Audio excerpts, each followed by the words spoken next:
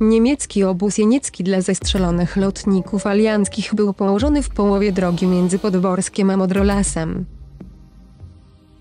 Do dzisiaj ślady zabudowań widoczne są na mapach Lider. Obóz został założony w kwietniu 1944 roku w Żeganiu, jednak po kilku tygodniach przeniesiono go do Modrolasu.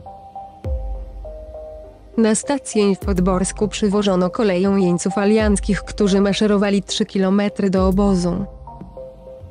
Przed budynkiem stacji kolejowej znajduje się pomnik przypominający o tym fakcie. Obóz w Modrolesie został założony na planie kwadratu podzielonym na cztery części. Ogrodzenia pod napięciem strzegli uzbrojeni wartownicy. Jeńcy byli skoszarowani w 40 drewnianych barakach. Spano w nich na piętrowych pryczach, ale też na ziemi. Nie wszystkie baraki były ogrzewane. Między godziną 16 a 7 więźniowie byli zamykani. Latem godzinę zamknięcia wydłużono do 21.30. W skład obozu wchodził także szpital polowy, magazyny żywności i odzieży oraz budynki strażników. Obozowy szpital liczył 132 łóżka. Chorymi zajmowało się czterech lekarzy oraz 14 osób personelu medycznego. Przez dwie godziny rano i po południu zainteresowani jeńcy mogli uczestniczyć w organizowanych przez współwięźniów lekcjach. Prowadzono zajęcia z literatury oraz uczono się języków obcych. Raz w tygodniu odbierana była poczta stemplowana pieczątkami obozu w żeganiu. Dozwolone były dwa listy i cztery pocztówki miesięcznie, które były mocno cenzurowane.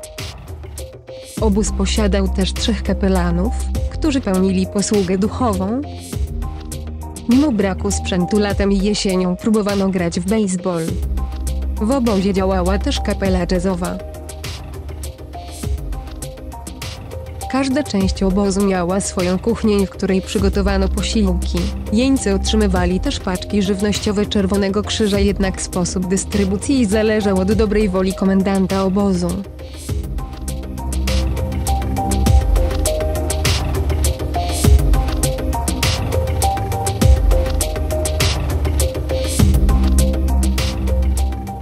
Pierwszy transport liczący 64 więźniów przybył 14 maja 1944 roku. Od tego czasu liczba jeńców stale rosła, osiągając liczbę ponad 10 tysięcy osób w styczniu 1945 roku. Do Modrolasu byli przewożeni lotnicy z obozów przejściowych w Wetzlar i Budapeszcie. Jesienią 1944 roku trafili tu jeńcy z ewakuowanego obozu w Szyłokarczmie na okupowanej Litwie.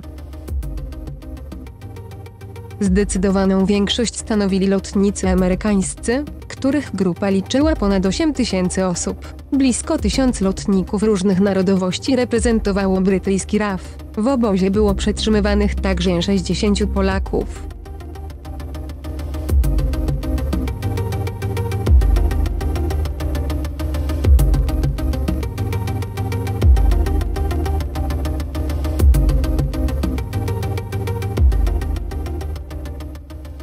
Wśród tabliczek z nazwiskami lotników znajdziemy nazwisko polskiego pilota. W nocy z 9 na 10 lipca 1941 roku samolot pilotowany przez sierżanta Jana Mikrzy został zestrzelony podczas nalotu na Osnabrück.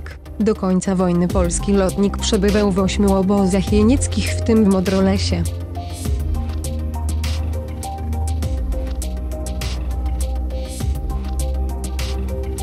Wielu z Niemców pełniących swoją służbę w obozie pozostało anonimowych, jednak trzech z nich zostało szczególnie dobrze zapamiętanych przez więźniów. Komendantem obozu w Modrolesie był podpułkownik Aribert Bombach, w pełni odpowiedzialny za funkcjonowanie obozu i działania swoich podwładnych. Kapitan Walter Pichard zachęcał strażników do używania bagnetów i bicia oraz strzelania do jeńców. Sierżant Reinhard Fanert był odpowiedzialny za system bezpieczeństwa w obozie. Osobiście prowadził przeszukania oraz bił i kopę więźniów.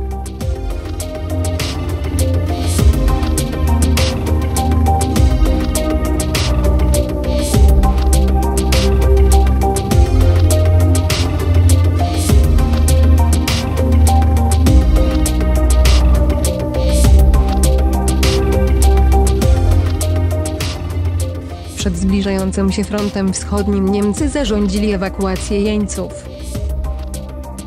W dniach od 6 do 8 lutego 1945 roku ewakuowano cały obóz. Piloci podzieleni na grupy ruszyli pieszo na zachód do Stalagów Bad Fallingbostel.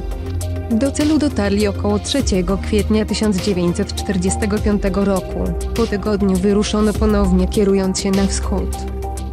Rankiem 2 maja 1945 roku w pobliżu miejscowości Lauenburg Brytyjczycy uwolnili więźniów.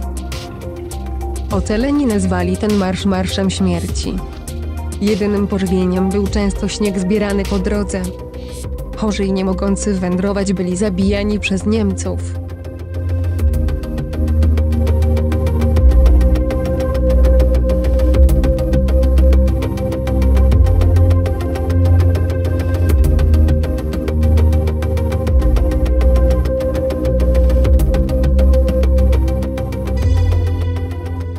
Na terenie obozu w pobliżu ruin bunkra i fundamentów baraków 2 września 1992 roku uroczyście odsłonięto pomnik autorstwa Zygmunta Wójka upamiętniający alianckich lotników.